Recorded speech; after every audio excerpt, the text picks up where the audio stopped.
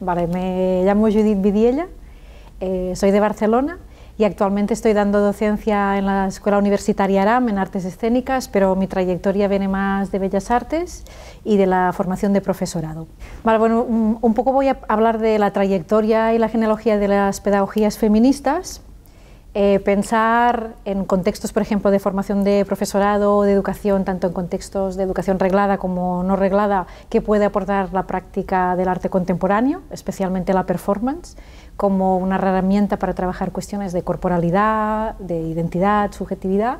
Después también hablaría un poco de esta confusión entre conceptos entre performance, performatividad, desde diferentes marcos y un poco acabaría abordando el concepto que trabajé en mi tesis, que, es, son las pedagogías de contacto.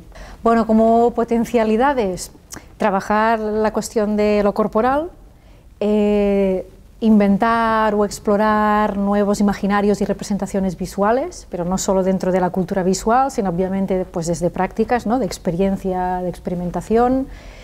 Eh, también ayuda a deconstruir todo el saber y el currículum muy normativo y estancado, es decir, analizar también cómo funciona la educación como una práctica performativa, normativa, ¿no? de creación de identidades y subjetividades muy fijadas, que no tienen en cuenta las diversidades de género, de etnia, de, en fin, de reducción religiosa, sexual, etc. Eh, ¿Qué más? También creo que explorar desde el deseo, desde la imaginación, desde otros espacios que están muy poco explorados en, las escuelas y sobre todo también pensar las eh, alianzas indigestas entre el dentro y el fuera de la escuela, el colaborar más entre museos, educadores, mediadores, artistas, eh, espacios culturales, abrir más, digamos, la escuela y pensar no solo que esto se puede trabajar en educación artística, sino que atraviesa todas las materias y los aprendizajes.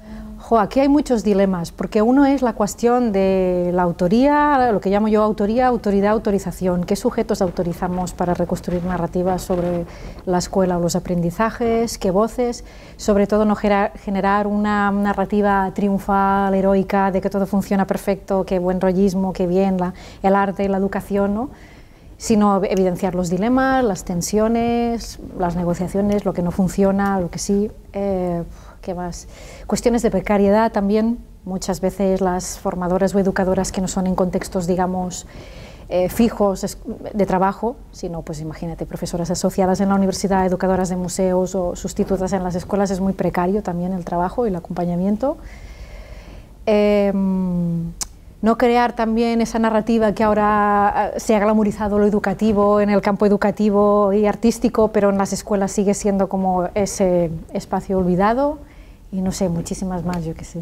Yo creo que lo primero es ver, hacer como una genealogía local de qué colectivos hay que están trabajando dentro y fuera de la escuela, negociar o sentarse y ver de qué manera este centro cultural también puede ayudar, acompañar o generar, colaborar con iniciativas Después también para no precarizar el servicio educativo, que se visibilice, reconstruya lo que hace, siempre no solo el proceso, sino estas tensiones, es muy importante generar otras genealogías, historias de vida de las personas, porque si no siempre hablamos de los niños que vienen, de los participantes que vienen, pero ¿qué pasa con las educadoras? ¿no? Que no sean una figura invisible, eh, porque siempre suele hacerlo, Ah, también concebiros o enunciaros como productoras de saber y conocimiento, no solo los comisarios, no solo los gestores, no solo los artistas, sino que también estáis produciendo, no haciendo solo visitas guiadas y acompañando lo que ya está escrito.